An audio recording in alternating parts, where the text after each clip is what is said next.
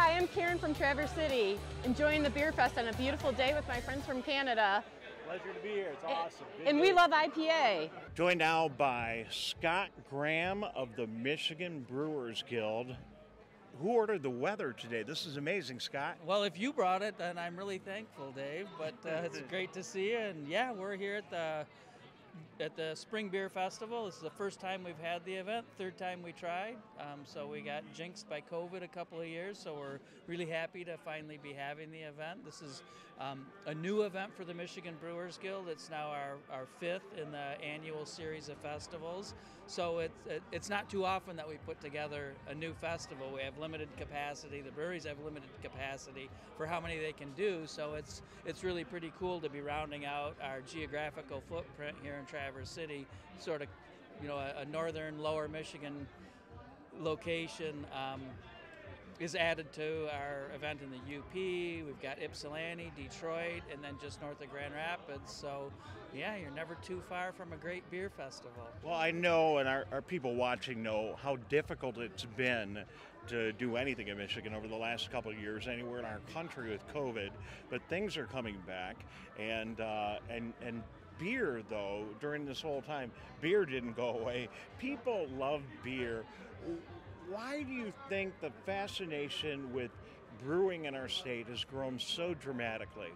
Well, I, I think historically beer's been one of those beverages that is really social and brings people together and they have a good time with it. Um, and, and so they get attached to their favorite beer brand, their favorite memory drinking beer or location that they have beer where they meet their friends. And our, our beer festivals are like that too. People have great memories. Um, and But that beer really creates community. So the community of breweries and brewers are pretty close in Michigan. But the whole community of folks that drink beer, such a nice group of people. Um, they're really a joy to be around. So we're, we're here at Turtle Creek Stadium in Traverse City, where, as you can probably see or will see uh, throughout this report, is where we play baseball in Traverse City. And this is the home of the Pit Spitters. Did I get that right? Yeah, that's right. And we've had a long uh, history of partnering with the West Michigan Whitecaps at our Winter Beer Festival. And a few years ago, the same group bought this ballpark, transformed it, changed it into the Pit Spitters. So it, it's really great to be working with them and have their infrastructure and their support. And we kind of put the, the event on together, really. Scott Graham joining us from the Michigan Brewers Guild here on a beautiful day in Traverse City. And Scott, as he said, uh, these events are going to be all over the state. And you you hit the nail right in the head. Um, I'm walking in today, and I expect to see people wearing their favorite, you know, baseball and football jerseys. Maybe maybe you know a Matt Stafford jersey or something. There's a guy with a Bell's Brewery jersey on. I feel like I'm walking into a sporting event. And you are right about the enthusiasm that consumers have for the brands that have been established here in Michigan. Uh, yeah, there's a lot of passion for uh, your favorite beer, and the nice thing is people like to try a, lot of different beers and have. I think they have their loyalties spread across um, quite a few different breweries, and that's part of the fun of it. We've got hundreds of beers here today, more than any one person can try, and our festivals are a great place to not not only if you have some experience and are familiar with local breweries, because you might be able to get some beer from a brewery that geographically you can't get to, haven't been to in a while. But our, our events are really fun for somebody who maybe um, doesn't drink beer that often, doesn't doesn't think they like beer, but they're thinking of yellow fizzy beer, and there's so much more than that that there are just so many beers you can try that it, it's really fun whether you've got a lot of experience or got a little experience drinking beer.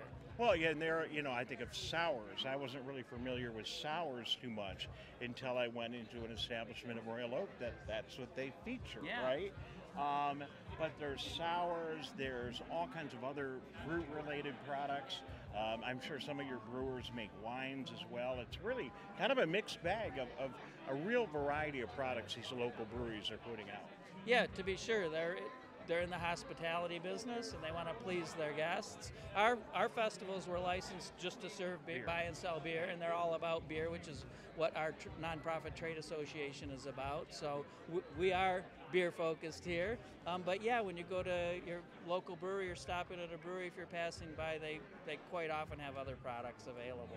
So, Scott, I've been in media my whole life. This is my most recent project. I'm really a radio guy, obviously not a TV guy. But I've worked in the radio in Detroit and Grand Rapids and Petoskey and Traverse City and all over the state. I'm, I'm going to do something I haven't done in my over 40 years of. Are you ready? My over 40 years of broadcasting. I'm about to ask my guest to, to sample some beer here. What do you got? You want to tell us what it is, and can you do a little uh, in-interview taste test? Well, I can. I, I, can't tell you what it is because we were getting ready for this, and somebody walked by and said, "Hey, do you want me to get you a beer so you have it for the interview?" And he handed me this beer, which I said, "Of course." I don't want to put you on the spot if you don't want to drink a little bit of well, it. no, I definitely all do. Right, all right, I'll, I'll let's, let's see. Let's see. All right, let's see what we got. And you know, it's kind of the fun of, of yeah, coming. You know, it, beer's such a. It's got so many sensory characteristics that it hits on.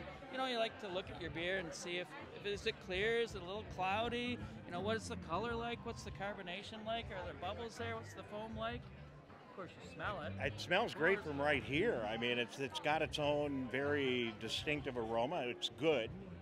It's a, it's bitter and hoppy. I think it's an IPA, and it's, it's really got a little bit of sweetness to balance it out. It's delicious. I'm sure it's making you thirsty, Dave. You I, haven't even gotten a beer I, yet today. Not until my report has been completely uh, fine. I remain a professional. Uh, uh, we'll probably have a sip here or there. so, this event is just pure fun. Bravo, can great, great job. The Brewers Guild pulling all these brewers together. Together, you mentioned you're a nonprofit, um, but there's enough of a buzz going on in Michigan to keep you busy, isn't there? Oh yeah, we're, we've got a, a, a really busy year from our events to our, our member services take up a lot of time, different promotional things. We have an annual conference in January that, that we share technical information and, and operations information.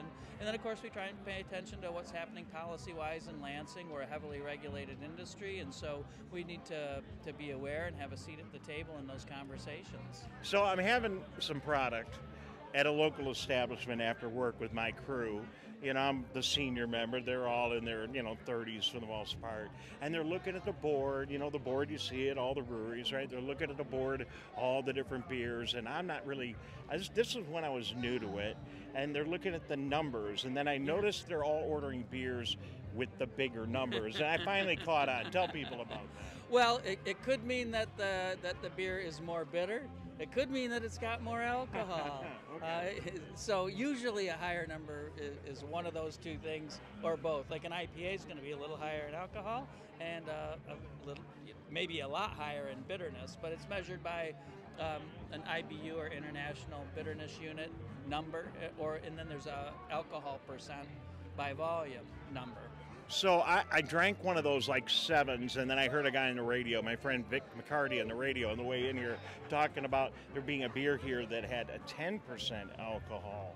I mean, you got to you got to watch your step when you're an old guy drinking 10% beer. You do. You need to think about it. Yeah. And, and I like uh, I I mean I, I like all different kinds of beers, but I like to drink lower alcohol beers too because I like to have a couple, right? And you you, you have to know how to shift gears if you're drinking a higher alcohol beer, or you know it could uh, it could sneak up on you. Are the breweries any of the the breweries and members of your guild here in Michigan making uh, no alcohol product or low yeah, alcohol? As a product? matter of fact, one of them is here with their NA beer. Uh, Rochester Mills Production Brewery in Auburn Hills uh, makes a Two Roots brand, and they have uh, several varieties, and it's, it's craft beer that's uh, de-alcoholized. So they make the beer, de-alcoholize it, and uh, you can try that if you want. It's really good. It's really All good. Right. Well, listen, you know that we've talked about it, and, and it was great. You were so nice and welcoming when I got here. But Scott and I talked a little bit about how much fun beer is, and we definitely, in my mind, want to want to get him as deeply involved. I told my guys, we are going to get very involved in beer. They really they liked that when we yeah. mentioned that. So we're going to be hanging around, and we look forward to it. Yeah, let's find ways to work together. I'm excited about your project, and it's always great to see you. Thanks for taking the time out to come and visit. Thank you. Before we go, any tips for people watching for your upcoming events or anything? Any final words people should know as they're coming into the summer? I would tip you off on a couple of things. If you like going to the beer festivals, you can join the Brewers Guild as an enthusiast member, as an individual, and you get uh, access to any festival one hour before general admission, which is a nice time. It, it's a quieter time. You can talk to the breweries, get to your favorite brewery, and have a little bit um, more intimate or personal experience. And the other thing is, uh, we started collecting stories from our members to compile a sort of little history of the Brewers Guild a few years ago, and we, um, a friend, a good friend of mine, Fred Bueltmann, collected a series of interviews. We compiled it into a book, and then we said, hey, we've got all this great material from these interviews, and we started sharing them via podcast. So if you're, these stories are really great. Um, if you're interested in beer or just business, um, they're fun stories, and I encourage anybody to check them out at Michigan's Great Beer State Podcast. You can find it on our website or wherever you get your podcast. And your web address again? mibeer.com mibeer.com. All right, we're going to take a little break. We'll be back. We're here in Traverse City. Scott Graham, thank you very much from Cheers, the Michigan Dave. Brewers Guild. I'm Dave Scott. Back in a moment with more beer.